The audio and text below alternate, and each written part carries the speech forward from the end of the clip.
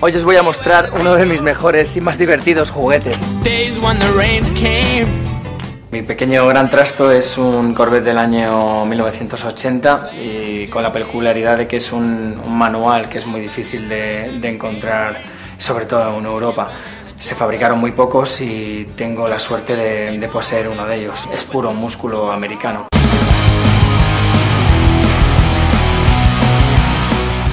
Afición por los coches creo que se remonta a, cuando yo era un mico viendo las carreras de autos locos.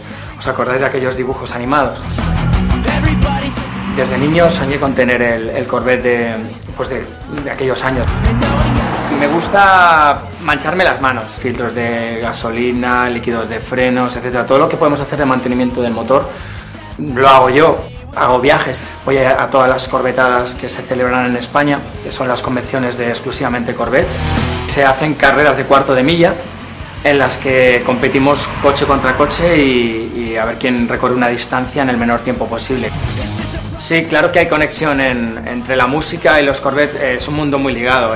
los deportivos, las Harley Davidson, ya sabéis, eh, va ligado a rock and roll. Un amigo mío decía que, que yo vivía en, mi propio mundo de, de vídeo musical.